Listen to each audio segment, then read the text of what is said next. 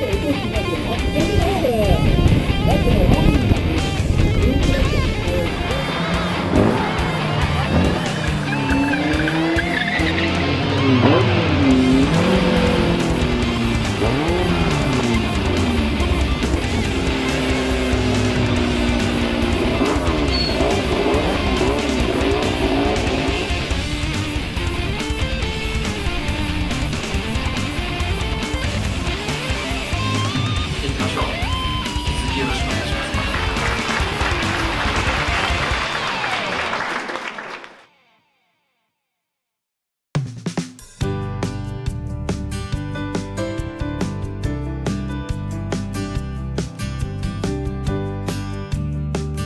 気持ちよく走れますねすごく。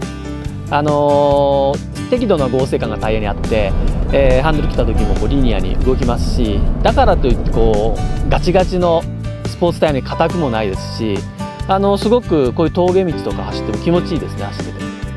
街乗りでもこうキビキビ感があっていいと思いますすごく。今回あの ARY という電気自動車で走ったんですね。なのであのロードノイズっていうんですかタイヤの走行音ってはっきり分かるんですね。でもすごく静かでした。あの全く不快な音がしないですし、えー、そういう意味ではね、えー、いいタイヤだと思います。